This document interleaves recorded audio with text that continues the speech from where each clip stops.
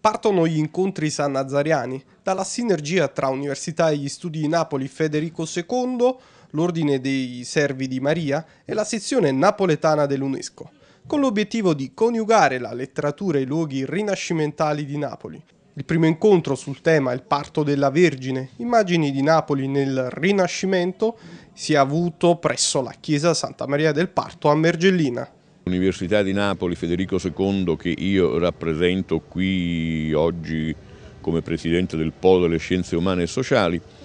abbia il dovere di eh, instaurare rapporti, come si dice oggi, sinergici con istituzioni pubbliche e private per la valorizzazione di tutto quello che è il patrimonio storico, artistico, letterario, quindi questo primo incontro di, su Sannazaro, che è un gigante del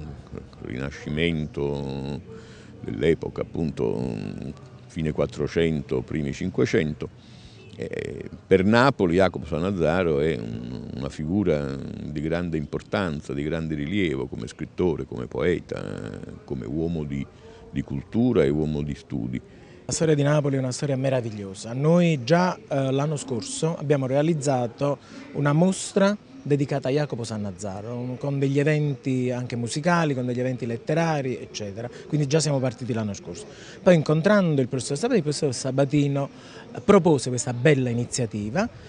e quindi noi siamo stati ben lieti di aderire come club, perché noi a Napoli operiamo da 32 anni in tutto ciò che è la valorizzazione della nostra città, perché io amo la mia città e vederla ridotta in questo modo. Eh. E poi anche perché i tesori culturali nascosti di Napoli devono essere scoperti e devono essere mostrati ai giovani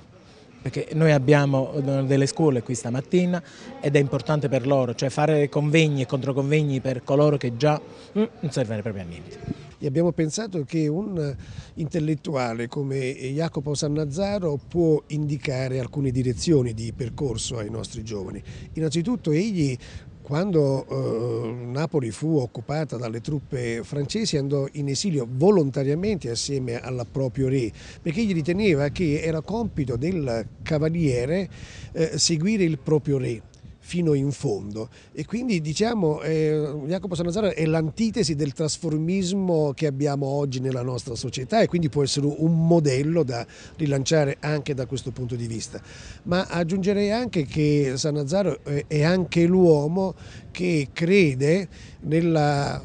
in una sorta di eh, rinascita, egli rilancia il mito della, di una nuova età dell'oro. Ecco, forse se consideriamo la tristezza del nostro presente, un uomo come San Nazaro che guarda lontano ma